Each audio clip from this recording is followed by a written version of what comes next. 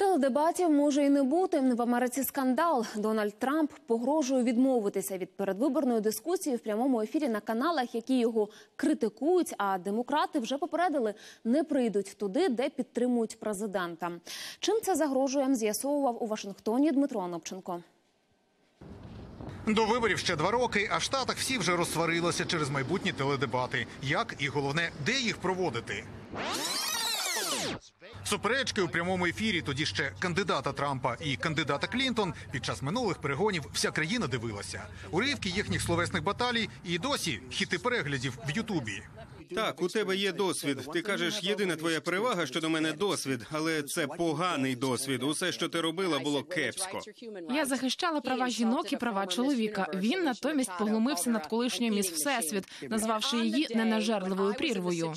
Яка мерзотна жінка. Росія хотіла б мати американським президентом слухняну ляльку. Та ти ж сама маріонетка.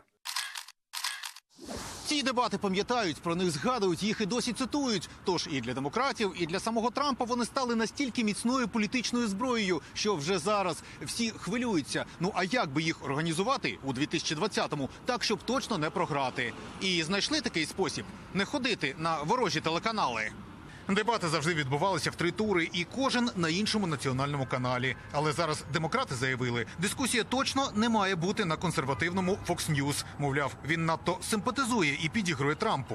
Той не забарився із відповіддю, написав у Твіттері, А я тоді не прийду на ефір на канали фейкових новин, маючи на увазі і CNN, який з 60-х років, коли в Штатах тільки но почали проводити теледебати, завжди їх показує. Згідно з конституцією, це не обов'язково, можна і без них, але уявити кампанію без яскравих баталій у телеефірі жодна партія вже не може. Тож політтехнологи зараз у розпачі. А що робити? Піти на аполітичний, але непопулярний канал. Ну це означає не мати рейтингів, вмовити Трампа таки прийти на CNN – Це ризиковано. Де гарантія, що ведучі не атакуватимуть президента більше ніж його суперник, інший кандидат. Тож цілком може статися, що вперше за всю історію Америки передвиборчих теледебатів у 2020-му просто не буде. З Вашингтона Дмитро Анопченко, Сергій Дубінін, американське бюро телеканалу Інтер.